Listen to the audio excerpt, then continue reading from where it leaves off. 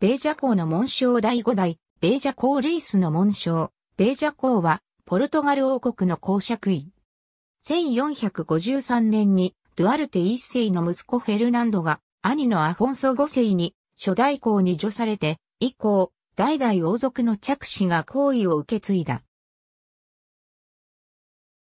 フェルナンド・ドゥアルテ一世の息子、ビゼウ公王、ジョアン、初代公、フェルナンドの息子、ビゼウ公、ディオゴ、初代公、フェルナンドの息子、ビゼウ公、マヌエル一世、初代公、フェルナンドの息子、ビゼウ公、後に、ポルトガル王、ルイス・マヌエル一世の息子、アントニオ・デ・ポルトガルの父ペドロ二世、ポルトガル王ジョアン四世の息子フランシスコ・ペドロ二世の息子ペドロ三世ポルトガル王ジョアン五世の息子、ジョアン6世ポルトガル女王マリア1世とペドロ3世の息子ミゲル1世ジョアン6世の息子ジョアン、ポルトガル女王マリア2世の息子マヌエル2世、ポルトガル王カルロス1世の息子。ありがとうございます。